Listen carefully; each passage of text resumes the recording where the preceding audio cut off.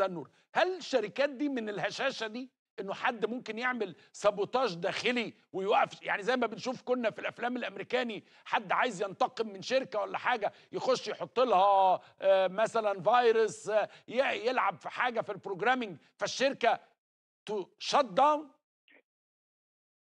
okay. آه، أول شيء مساء الخير مرة ثانية. بتوقع مثل ما أشار الضيف اللي اللي حكى قبلي على فكرة إنه هاي الشركات في بينها وبين المستخدمين آلاف ومئات مئات وآلاف من الشركات الأخرى اللي بتقدم خدمات معينة. آه، قد يكون في وحدة من من هاي الشركات اللي بتربطنا بهاي السلسلة. قد تعرضت لمشكلة تقنيه مثلا أدت لهي لتوقف هاي الخدمات. للإجابة على سؤالك إن كانت الشركات الكبرى بهي الهشاشة بصراحة هي مش الشركات الكبرى هي الإنترنت بحد ذاته أستاذ الإنترنت قديم.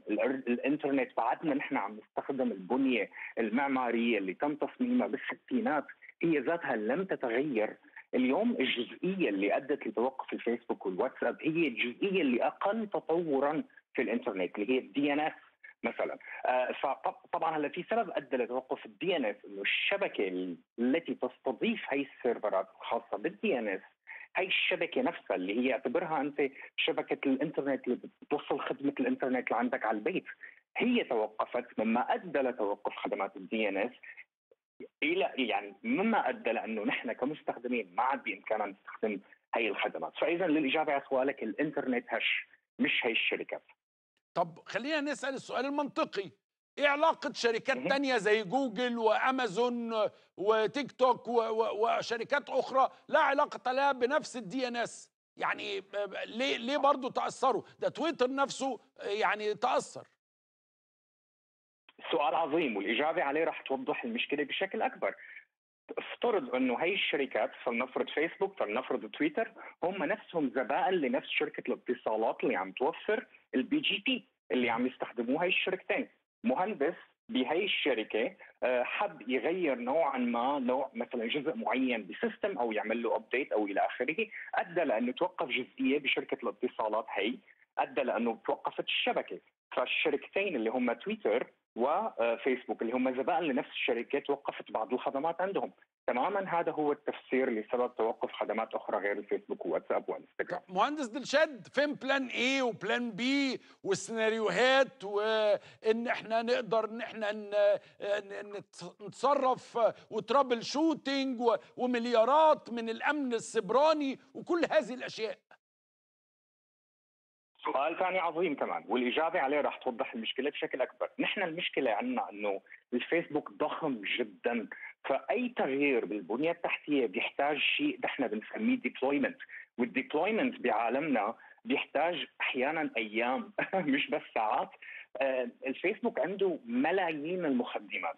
آه، أنا اليوم كنت عم بحصي كم DNS server بالمنطقة اللي أنا عايش فيها بيخدم الفيسبوك. تقريبا 540 DNS server فنحن عم نحكي عن بنى تحتية خيالية. فاتوقع الفيسبوك عم عم عم يعمل تقييم للحالة هلأ.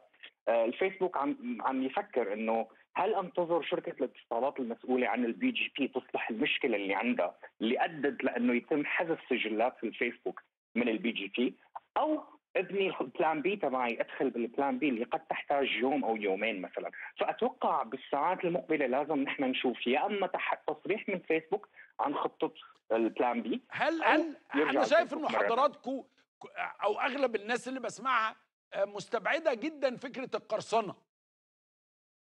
تمام. ال- ال- السبب اللي يخليني أنا بستبعد فكرة القرصنة لأنه مشاكل ال DNS دائما بتحصل.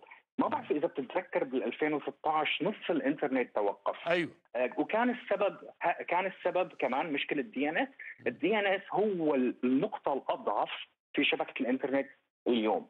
آه، وهو يتع... وهو دائما يتعرض ل... ل... لمشاكل تقنية تؤدي لتوقفه.